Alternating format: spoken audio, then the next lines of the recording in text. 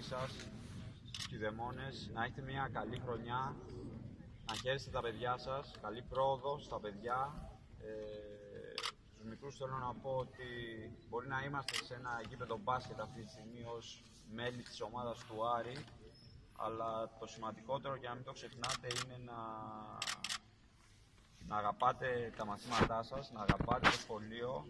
Ε, αυτό δεν σημαίνει ότι παραμελούμε το μπάσκετ, ε, ούτε όταν ασχολούμαστε μόνο με το μπάσκετ ότι παραμελούμε το σχολείο.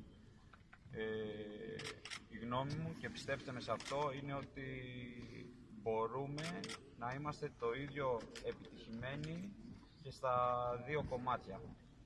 Και επιτυχημένοι δεν σημαίνει ότι θα φτάσουμε να γίνουμε πρωταθλητές στον αθλητισμό ή μαθητές του 10, του 10 αν είμαστε στο δημοτικό ε, ή του 19-20 αν είμαστε σε μεγαλύτερες τάξεις. Επιτυχημένοι είναι να, να φτάνουμε κάθε φορά και στον αθλητισμό και στο σχολείο στο υψηλότερο σημείο που ο καθένας μπορεί να φτάσει.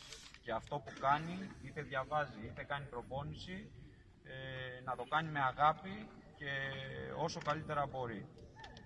Ε, εξάλλου, στην ομάδα μας, αν ξέρετε, έχουμε, έχουμε και γιατρό, έχουμε τον Δημήτρη το Φιόνι, ε, έχουμε και άλλα παιδιά τα οποία σπουδάζουν και είναι στο, στο πανεπιστήμιο ε, και η παλέμαχή μας, ο κ. Ανανιάδης, οπότε ε, όχι απλά συνδυάζονται, αλλά να ξέρετε και να είστε σίγουροι ότι εάν φτάνετε στην κορυφή στο ένα και η κορυφή είναι όσο καλύτερα μπορείτε να φτάσετε, μπορείτε να φτάσετε και στο άλλο.